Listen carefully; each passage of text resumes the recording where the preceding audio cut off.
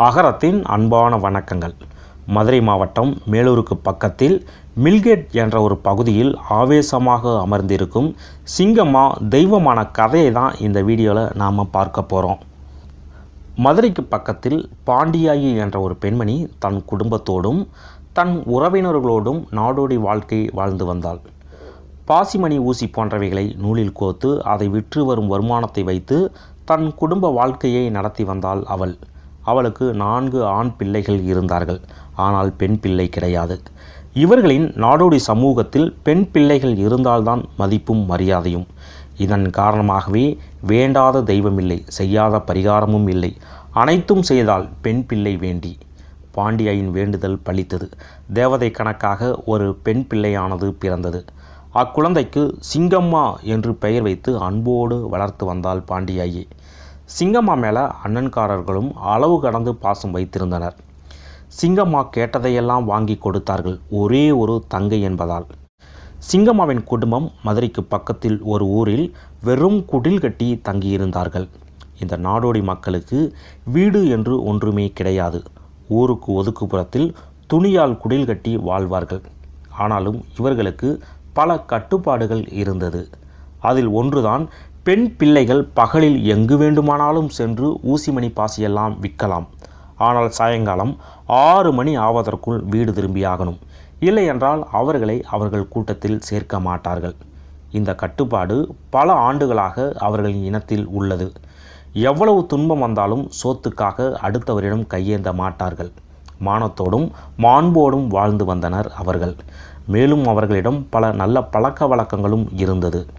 மற்ற சமூகம் போல வரதட்சணை வாங்க மாட்டார்கள். பெண்ணை பெற்றவர்களுக்கு மாப்பிள்ளை வீட்டார்கள் பணம் கொடுத்து திருமணம் செய்வார்கள். பாண்டியாயி மாதிரியே சிங்கம்மாவும் ஊசிமணி பாசியெல்லாம் விற்பனை செய்வாள். சிங்கம்மா தன்னுடைய பதினான்காம் வயதில் பெரிய மனுஷியானாள். இவளின் அழகை கண்டு பல குடும்பங்கள் பெண் கேட்டு வந்தார்கள். ஆனால் சிங்கம்மாவிற்கு தற்போது திருமணம் செய்து வைக்க மனமில்லை பாண்டியாய்க்கு. பிறகு பேசிக்கொள்ளலாம் என வந்த சம்மந்தத்தையெல்லாம் தட்டி கழித்தாள் பாண்டியாயி. இப்படி இருந்த வேளையில் ஒரு நாள் பக்கத்தூரில் கோவில் திருவிழாவானது நடைபெற்றது.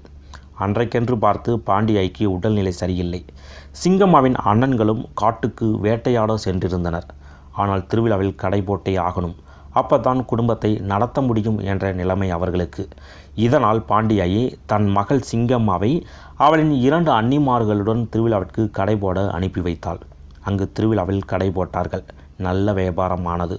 மேலும் ஆறு மணி ஆவதற்குள் வீடு திரும்பி ஆகணுமே என்று மூன்று மணிக்கே அனைத்து சாமான்களையும் சிங்கம்மாவும் அவளின் அன்னிகள் இருவருமே மூட்டை கட்டினார்கள். மேலும் கட்டிய மூட்டையை தலையில் சுமந்தபடி வீட்டை நோக்கி நடந்தார்கள் மூவரும். ஒரு காட்டை கடந்துதான் தங்களின் வீட்டுக்கு போகணும். காட்டுக்குள் வேகமாக மூவரும் நடந்தார்கள். அப்போது திடீரென வானம் கருத்து மழை பெய்யத் தொடங்கியது. மூவரும் மழையில் நனைந்தபடியே தன் வீட்டை நோக்கி விரைந்தார்கள். ஆனால் மூவருமே காட்டுக்குள் ஆளுக்கு ஒரு பக்கமாக பிரிந்து விட்டனர் சிங்கமாவோ அண்ணி அண்ணி என்று கத்தினாள். ஆனாலும் எந்த பயனும் இல்லை. அதே நேரம் மழையும் நின்று போனது. சரி நமக்குத்தான் வீடு போவதற்கு வழி தெரியுமே என்று தன் வீட்டை நோக்கி வேகமாக காட்டுக்குள் நடந்தாள் சிங்கம்மா. சிங்கம்மா தனியாக வருவதை அந்த பக்கமாக போன மூன்று இளைஞர்கள் பார்த்து விட்டனர். மூன்று பேரும் சிங்கம்மாவிற்கு தெரிந்த பிள்ளைகள்தான். அதன் காரணமாக சிங்கம்மாவின் அருகில் சென்று என்ன சின்னமா தனியாக போற என்று கேட்டார்கள். அதற்கு சிங்கமாவோ அன்னிமார்கள் இருவருமே முன்னே சென்று விட்டார்கள் என்றாள். அதற்கு அந்த இளைஞர்களோ இப்போத்தான் அவங்க இருவருமே தெற்கு பக்கமாக போனாங்க. நாங்கள் பார்த்தோம். அங்கே ஒரு கல்யாணம் நடக்குது. விருந்து சாப்பிட்டு போகலாம் என்றுதான் உன் அன்னிகள் அங்கு போனார்கள் என்று பொய் சொன்னார்கள். மேலும் நீயும் வருகிறாயா என்றனர் அந்த இளைஞர்கள். அதற்கு சரி அன்னிகள் தான் அங்கே போயிருக்காங்களே நாமும் போவோம் என்று மனதிற்குள் நினைத்து கொண்டு சரி போவோம் என்றாள் சிங்கம்மா. மேலும் சிங்கம்மா அந்த மூன்று இளைஞர்களின் பின்னால் நடந்தாள். வழியில் யாரும் இல்லாத ஒரு இடம். அங்கு ஒரு பாலடைந்த கட்டிடம் இருந்தது. அப்போது இம்மூவரும் சிங்கம்மாவை சுற்றி வளைத்து கொண்டு பாலடைந்த கட்டிடத்திற்குள் கையை பிடித்து இழுத்து கொண்டு போனார்கள். அதை பார்த்த உடனே சிங்கம்மாவிற்கு புரிந்து போனது. இவர்கள் சொன்னது எல்லாமே பொய். தப்பான எண்ணத்தில்தான் தம்மை கூட்டிக் கொண்டு வந்திருக்கிறார்கள் என்பது அப்போது அவளுக்கு புரிந்தது. உதவிக்கு பக்கத்தில் இருந்தவர்களை கூப்பிட்டு பார்த்தாள். ஆனால் அந்த காட்டில் யாருமே இல்லை. உடனே தன் கையே தனக்கு உதவி என்று நினைத்தவள் தன் உடம்பில் இருந்த சக்திகளையெல்லாம் திரட்டி அந்த மூவரையும் அடித்து துவம்சம் செய்தாள். அவளின் சீலையெல்லாம் அப்போது ஆங்காங்கே கிழிந்து கிடந்தது. அப்படியே காட்டுப்பகுதிக்குள் ஓடி தன்னுடைய வீட்டை அடைந்தாள். ஆனால் வீட்டுக்கு வருவதற்கு மணி எட்டானது. சிங்கம்மா கூட போன அன்னிகள் இருவருமே குடிலுக்கு வந்து சிங்கம்மா எங்களை விட்டு ஓடிவிட்டாள் என்று பொய் சொல்லியிருந்தனர். அதை கேட்ட உடனே சாதி சனமெல்லாம் பதறி போனது. பாண்டியை ஒரு பக்கம் உட்கார்ந்து ஒப்பாரி வைத்து அழுதாள். இப்படி குலமானத்தையே வாங்கிவிட்டாளே என்று அண்ணன்களும் நாலு பேரும் துடிதுடித்து போனார்கள். கூட்டத்தில் இருந்த பெரியவர்களெல்லாம் அடுத்து என்ன செய்யலாம் என யோசனையில் இருந்தார்கள். இந்த நிலையில்தான் சிங்கம்மா அங்கு வந்து சேர்ந்தாள். அவளை பார்த்த உடனேயே அண்ணன்கள் அவளை அடிக்கப் போனார்கள். அங்கிருந்த பெரியவர்கள் எல்லாம் அவர்களை சமாதானப்படுத்தி உட்கார வைத்தார்கள். மேலும் ஊர் பெரியவர்கள் ஏதோ தனியாக சென்று பேசி ஒரு முடிவை எடுத்தனர். மேலும் சிங்கம்மாவிடம் நடந்ததையெல்லாம் கேட்டார்கள். சிங்கம்மாவும் உள்ளதை உள்ளபடி சொன்னாள். ஆனால் அதை யாருமே நம்ப தயாராக இல்லை. சிங்கம்மாவை குடிலோட எல்லையிலேயே நிற்க வைத்தனர். மேலும் ஊர் பெரியவர்கள் பாண்டியாயிடமும் அண்ணன்காரர்களிடமும் ஏதோ ரகசியம் பேசி மீண்டும் ஒரு முடிவுக்கு வந்தனர். அப்போது பாண்டியாயும் அண்ணன்காரர்களும் சிங்கம்மாவை அழைத்து கொண்டு எங்கேயோ கிளம்பினார்கள். மற்றவர்களும் அவர்கள் பின்னாடியே சென்றார்கள். முள்ளும் புதரும் மண்டி கிடந்த ஒரு மைதானத்தில் சிங்கம்மாவை உட்கார வைத்தனர். அந்த பிஞ்சு மனதிற்கு ஒன்றுமே புரியவில்லை அப்போது. சிங்கம்மாவிற்கு பிடித்த பதார்த்தங்களையெல்லாம் தின்பதற்கு கொடுத்தார்கள்.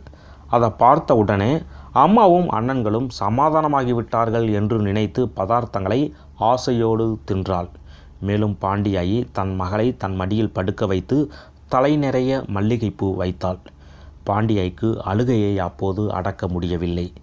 ஏன் அம்மா அழுகிறாங்க என்பது கூட தெரியாமல் புரியாமல் பதார்த்தங்களை தின்று கொண்டு இருந்தாள் சிங்கம்மா. அப்படியே தாயின் மடியில் படுத்துக்கொண்டே உறங்கிவிட்டாள் சிங்கம்மா. சிறிது நேரத்தில் சிங்கம்மாவின் தலையில் ஏதோ வேகத்துடன் மோதியது. சிங்கம்மாவால் அப்போது கண் கூட விழிக்க முடியல. ஐயோ அம்மா என்று கதறியபடியே விழுந்து இறந்து போனாள். அண்ணன்களில் ஒருவன் கையில் ஒரு மிகப்பெரிய உருட்டுக்கட்டையானது அப்போது இருந்தது. அதை பார்த்தபடியே தன் உயிரை விட்டாள் சிங்கம்மா. அந்த உதடுகள் சொல்ல துடித்தது தான் தப்பு செய்யவில்லை என்று. ஆனால் விதியின் விளையாட்டு செய்யாத தப்புக்கு மரண தண்டனை. அங்கிருந்த அனைவரும் கதறி அழுதனர். ஆனாலும் என்ன பயன்? தீர விசாரிக்காமல் தண்டனை கொடுத்து ஒரு மலரையே பொசுக்கி விட்டார்கள். அங்கேயே ஒரு குழியை வெட்டி சிங்கம்மாவை புதைத்தார்கள். இந்த சம்பவம் நடந்து சில நாட்கள் ஆனது. அந்த இடத்தை அதாவது சிங்கம்மாவை புதைத்த இடத்திற்கு பக்கமாக வருகின்ற பிள்ளைகளெல்லாம் திடீர் திடீரென்று சட்டையை கிழித்து கொண்டு தகர டப்பாக்களை தட்டி கொண்டு ஆட ஆரம்பித்தனர். இதனை பார்த்து அங்கிருந்த மக்கள் கோடாங்கியிடம் குறி கேட்டபோது நடந்த கதையெல்லாம் அவர்களுக்கு தெரிந்தது. உடனே சிங்கம்மாவை புதைத்த இடத்தில் ஒரு சிலை எழுப்பி கோவிலை கட்டினார்கள். இன்றும் மதுரை மேலூருக்கு பக்கத்தில் மில்கேட் என்ற ஒரு இடத்தில் ஆவேசமாக சிங்கம்மா பக்தர்களுக்கு அருள்பாலிக்கிறாள். இதுவே சிங்கம்மா தெய்வமான கதையாகும். மேலும் இதுபோன்ற தகவல்களை தெரிந்து கொள்ள கீழே உள்ள சப்ஸ்கிரைப் பட்டனை அழுத்தவும். நன்றி.